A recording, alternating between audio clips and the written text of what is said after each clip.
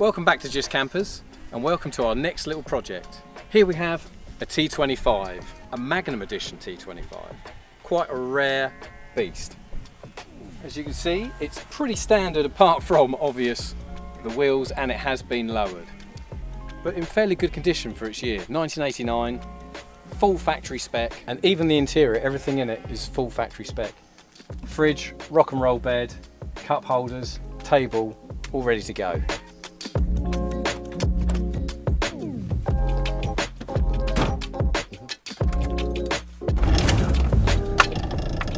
Driving the T25, it's really quite comfortable. Um, it's not bad considering it's lowered, got big wheels on it, it still feels quite good. It's quite a nice place to be in here. We've got more carpet than you would do on a standard form being a Magnum. Um, actually drives quite well. Dogleg gearbox, quite easy to get used to. Reverse is quite easy to select. One big problem that I think as you can see, we haven't got any power whatsoever. So in 1989 they released these with the 1600 turbo diesel engine and they were 69 horsepower. And by god do you feel it? I've got no power whatsoever. The throttle response is really low. You have to get the thing really revving before it starts to pull. Uh, it's not breaking a sweat. We definitely need to get that sorted. So let's get back to the workshop and see what we can do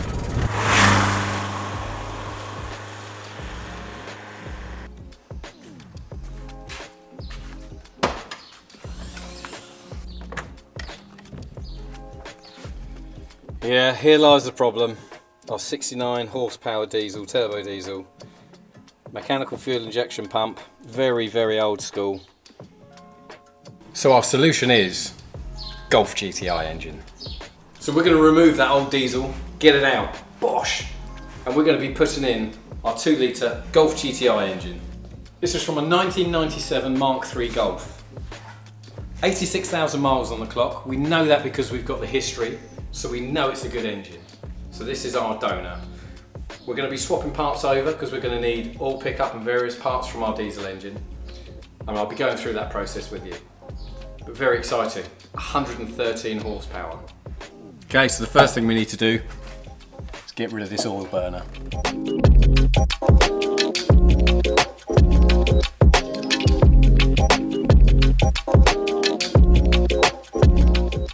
So this is our T25 1600 turbo diesel engine removed. As you can see, pretty grubby, bless it. Been in there for some time, obviously, and lacking lots of power. So, over here, we have our Golf GTI engine. So this is going to give us 113 brake horsepower. Uh, we are going to go through this, this is going to get serviced. We're going to clean it up, I'm even going to paint the block as well. Uh, obviously fresh cam belt, new water pump, service items. And there are some parts that we need to take off of our original engine to get this engine to fit into our T25. And I'll cover that later with you, but it's gonna be engine mounts for sure, definitely the sump and oil pickup, and there will be a few various other items. So, I'm gonna get this one stripped and get it looking pretty.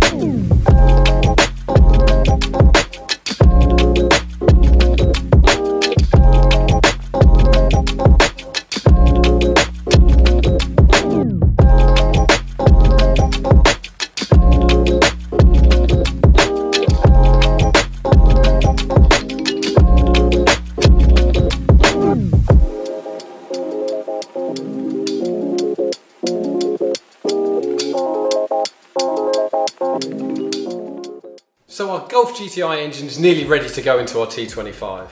The next step I wanted to do was change out the fuel tank. So this obviously has got its original stinky horrible diesel tank in it. We're going to put a nice fresh brand new petrol tank in it, set up for fuel injection.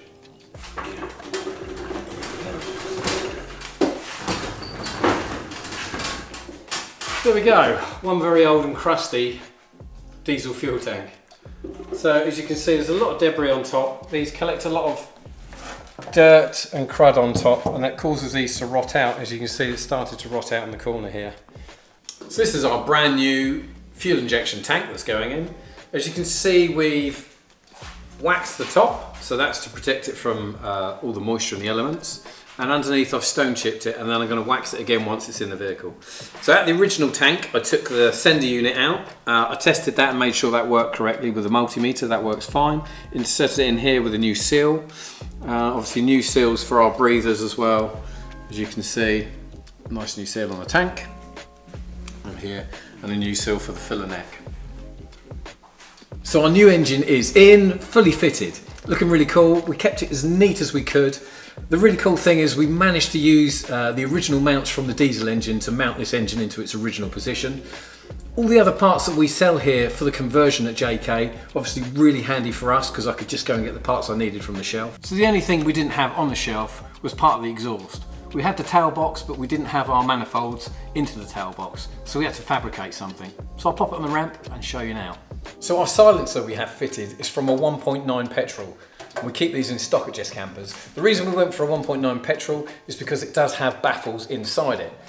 The diesel original doesn't, so it would have sounded horrible. With these, it sounds really cool. So the part of the exhaust we had to fabricate was our downpipe from our manifold all the way around to our silencer. So as you can see, we've managed to keep it as neat and as tidy as possible and loop it back round and obviously have space for our lambda, lambda sensor to fit in uh, and then directly to our silencer.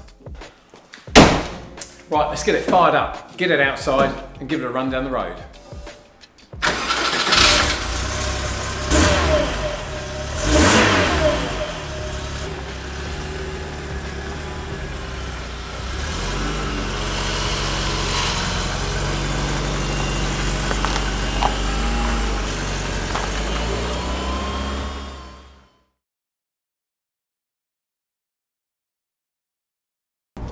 As you may have noticed, uh, there's no leaves on the trees or bushes. Uh, funny story. So we had to send the ECU off to have the immobiliser taken out of it. Uh, we sent it off. The lovely courier actually put it in an old lady's garden and it sat there probably for about mm, two or three weeks before we realised that it hadn't reached its destination. So that put us back a little while. Also, we had to send the logbook off because you need to tell DVLA that we've changed the engine from diesel to now petrol, and that also took a few weeks too. And also we had some other projects in between. So seasons have changed, here we are, so we're out for our first test ride. So back to the engine. First thing I notice is how quiet it is and how smooth it is. And obviously we've gained a lot more horsepower, uh, so definitely a lot more fun to drive. So I'm just going to give it a little test in second gear, see how it pulls. Sounds much nicer, feels great. I think that pulls quite well.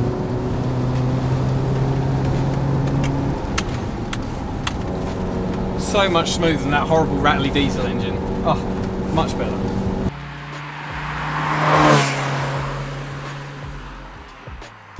So this van is so smooth and so drivable now. I really believe that this is something that VW should have done from factory. Put a two litre in it. Golf GTI engine was definitely the best decision for this van. Adding nearly 60 horsepower has just changed the whole drive of this van. Can now keep up with modern traffic really comfortably. That's our engine conversion done. We've got more exciting projects coming up this year in 2023, so be sure to follow us on our socials to keep up to date. Hopefully our next project won't take as long as this one. So until next time, thanks for watching.